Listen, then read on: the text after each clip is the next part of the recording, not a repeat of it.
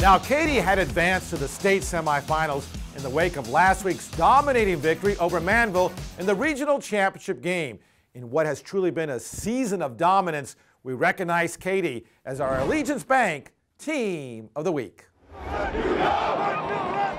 Facing a high-powered Manvel team in the regional finals, it figured to be Katy's toughest test to date in the postseason playoffs.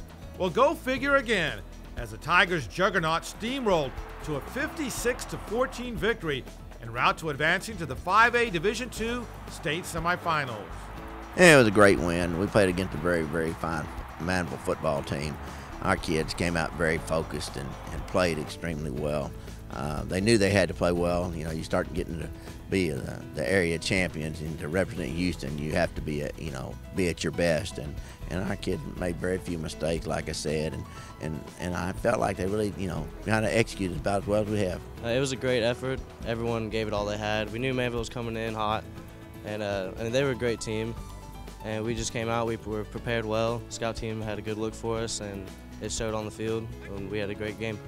An especially great game for Tigers running back Rodney Anderson, who rushed for 247 yards and four touchdowns. In the Tigers' first four playoff victories, Anderson has scored 16 touchdowns while amassing 750 rushing yards.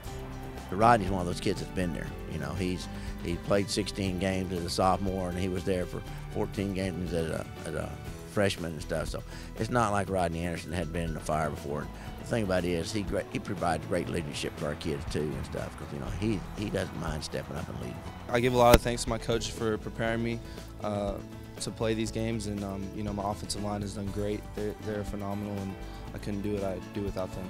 A dominant postseason for this entire team, which outscored its playoff opponents by a whopping 233 to 47 margin, leading into the state semifinals. The team's grown up, and, and you know that's the thing that, that I feel good about is they've continued to get better, and we're still we haven't reached played our that game yet, and uh, I'm looking forward to see how much better we can get. And we are here on campus at the home of the Tigers, along with head coach Gary Joseph. Also here, Tim Wilkerson, star defensive lineman, and also Vidal Ramirez of Allegiance Bank. Vidal? Coach Joseph, congratulations. It's my pleasure to present this plaque from Allegiance Bank, Texas for the team of the week. Congratulations. Congratulations. Thank you very much. Congratulations.